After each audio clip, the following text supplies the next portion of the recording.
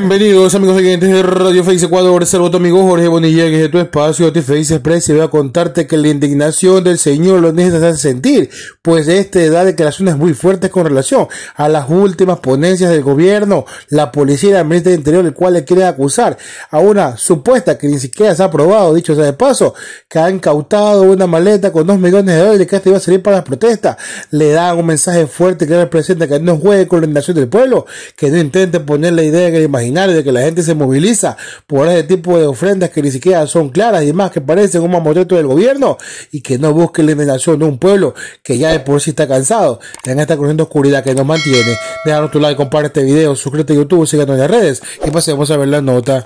Es un insulto a la dignidad de los luchadores, es un insulto a la, a la memoria de la lucha histórica de los pueblos en el Ecuador. Por ello estamos pidiendo esta querella a Lazo. Demuestre dónde estaba, porque él también dijo que ha utilizado 20 millones de dólares para el levantamiento. Oiga, ¿saben cómo se sostienen las luchas? Con solidaridad. Ya que han dicho los indígenas vienen a que, quemar Quito. Pero vaya y contabilice lo que dice Coavisa Teleamazonas. Más de 2.000 eventos se dieron en Quito. ¿Quiénes levantaron? Los quiteños. Por favor entiendan, los quiteños levantaron. Y en ese acto para sostener las luchas, ¿cómo ha sido? Con actos de solidaridad en Minga, ollas comunitarias. ¿Quién las sostiene? Sostiene el pueblo. No hay financiamiento. No de dólares, dejen de ser mentirosos. En absoluto eso jamás pasaría. Y por eso decimos, pruebe, pues, dónde están los, los, este, las inversiones que decían que han puesto en las movilizaciones. Eso no existe, queridos ecuatorianos.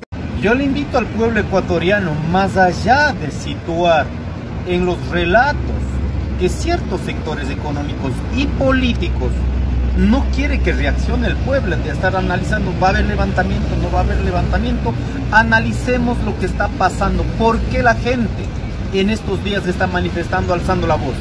No hay trabajo. El, todo el problema de la energía no es que solo ha afectado a los grandes, eh, a los grandes grupos económicos.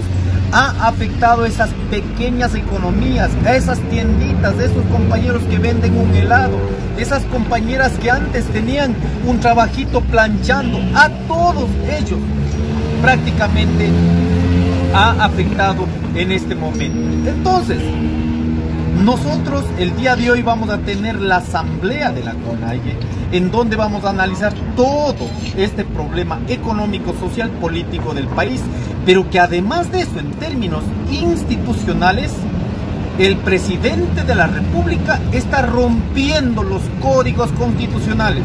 ¿En qué momento, yo pregunto a los ecuatorianos, en qué momento elegimos a la actual vicepresidenta? ¿Tenemos dos vicepresidentas? Cuando ahora el presidente vaya a hacer la campaña, ¿a quién va a dejar? A una ciudadana que nunca eligieron eh, los, elegimos los ecuatorianos. Están rompiendo el orden constitucional. Hay ínfulas de dictadura. No se puede seguir tolerando. Imagínense, ayer este, los ciudadanos salimos a manifestar, alzar la voz. Y resulta que quieren vincular con este acto que pasó en el aeropuerto que dos millones de dólares venía para financiar la, la movilización. Esos son relatos construidos de mala fe. No se puede seguir no se puede seguir viviendo en un estado fallido, en un desgobierno que no entiende. ¿Usted cree que los ciudadanos van a dejar de movilizar porque ponen más policías, más militares? Cuando la barriga tiene hambre, los pueblos, la sociedad va a salir a manifestar porque el gobierno no está dando, no está dando respuestas inmediatas. Nosotros hemos dicho dos cuestiones puntuales. En lugar de estar pagando 5 millones de dólares, 5 millones de dólares sale de los bolsillos de los ecuatorianos a través de impuestos, ¿sabe qué está haciendo? Pagando pauta en redes sociales para tapar su inoperancia mire. Eso dice el gobierno. Debe haber el aeropuerto de origen. Seguramente pasó los controles. Seguramente en ese aeropuerto de, lo, de origen que vino, de Panamá, de Estados Unidos, de Asia, no sé de dónde vino, ¿cierto? Seguramente tienen incidencia en los, en los paneles de control. Si llegan al Ecuador y dice que hay una planificación que demuestre toda esa investigación, porque aquí lo que vemos con total impunidad por parte del presidente de la República lo que pretende es vincular. ¿Para qué? Para estigmatizar la lucha. En consecuencia eso, no podemos hacer. Mire cuánta familia en este momento, por falta de empleo, falta de trabajo, tanta pobreza, saldrá a movilización. ¿Y usted cree que vienen porque van a ser pagados en una movilización? Eso es ridículo. La gente no va a dejar de protestar, no va a dejar de alzar la voz porque un presidente ponga trampas o porque el presidente ponga más policías eh, para llegar a Carondelet. No, la gente no va a quedar ahí tranquila está más bien cultivando la indignación. La gente vamos a poner de pie las veces que sean necesarios hasta que entiendan los gobiernos. ¿En la asamblea se va a tomar alguna decisión? El día de hoy vamos a tomar una definición frente al análisis profundo lo que está pasando en nuestra sociedad, en nuestros pueblos.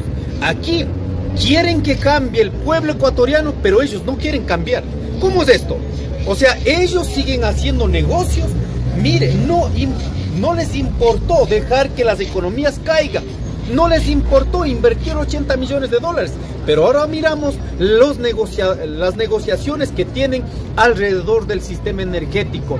Oiga, hicieron por presión pasar ley, una ley que permite privatizaciones cuando nuestra gente, por favor, no puede sostener ni siquiera sus unidades productivas. Así que hoy día analizaremos este tema y daremos a conocer las resoluciones en la tarde. Muchas gracias, un abrazo.